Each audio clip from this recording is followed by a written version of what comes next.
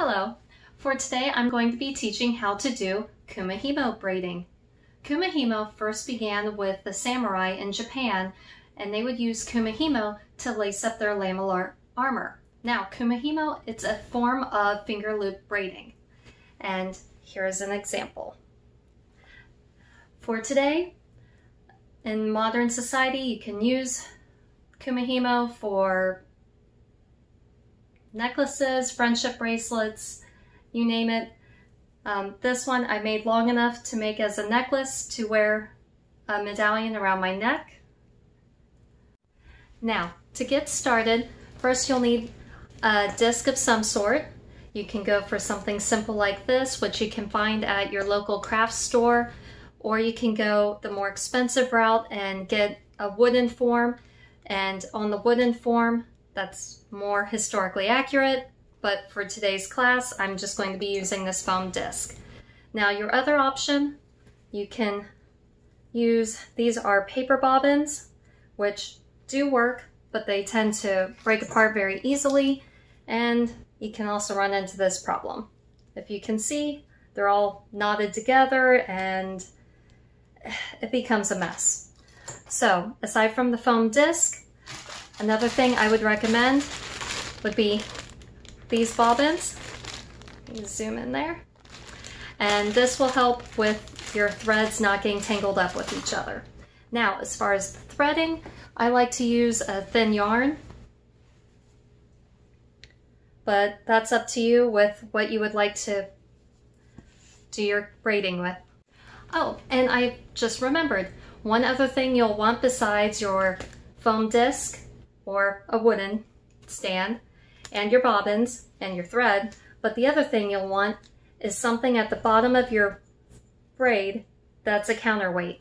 For this, I, again, going with the inexpensive route, I'm just using a simple paper clip. Ta-da! Now, depending on if you want to make a friendship bracelet or if you'll be making a necklace, will then determine how long you want your thread. To make it very easy, I just like to pull one end, hold it in my finger, and if I'm doing a bracelet, I will go fingertip, hold out my arm, and then just go to my shoulder, and then this is where I would cut. If I want to do a necklace, I would do the same thing. Hold out the one end, hold out my arm straight, but instead I would continue unraveling this and go to the other end, keep my arms straight, and then that gives me approximately how long I want my thread. And for today's class, I'm going to be teaching how to do a spiral braid. So you would need eight strands.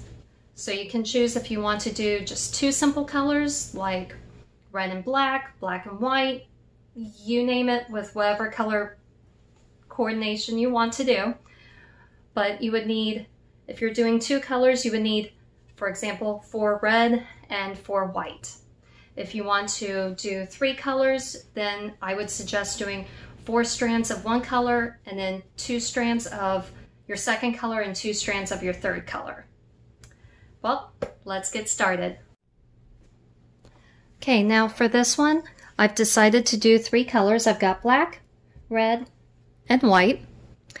And I've done two black up here, two black down here, and then I've alternated red up here and red down here and then white and white. So red and white and then white and red. And then like I said, I've got two black up here, two black up there. So I've got eight strands. And this one I've already started. I've what you want to do at the very beginning. Once you pick out your colors is you want to give yourself a couple of inches of thread and then you want to put your knot in the thread. If you want to do two knots, that's fine. And once you do that, you want to put your weight on your thread, put that in the center, and then stretch out your strings so that they go top, bottom, and then side, side, so it's set up just like this. And then you'll have the rest of your threads all hanging off the sides here and you'll just want to wrap up your threads into the bobbin that you're using And once you've got it set up, you'll start off with the top right going down and then the bottom left going up. Now it's very important to keep your strings very tight. And once you've done that, if you notice, I did a quarter turn and now my red and white strings are underneath the black. So now I'm going to do my top right, which is white, and pull it down. And now I'm going to do my bottom left, which is also white, and put it up and pull my strings tight. And now I'm going to do a quarter turn again. And my top right string goes down. And then this bottom left string goes up. And as I said before, one of the problems you run into with the paper bobbins, my threads are stuck.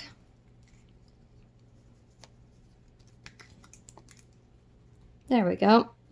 And then pull it tight and quarter turn. And now you just continue doing this with the top right going down the bottom left going up, pulling your strings tight and then doing a quarter turn. And as you continue to do this, you'll see that the braid will begin to appear on the underneath side and you just continue doing your braid until the braid is the desired length that you would like for your bracelet or your necklace.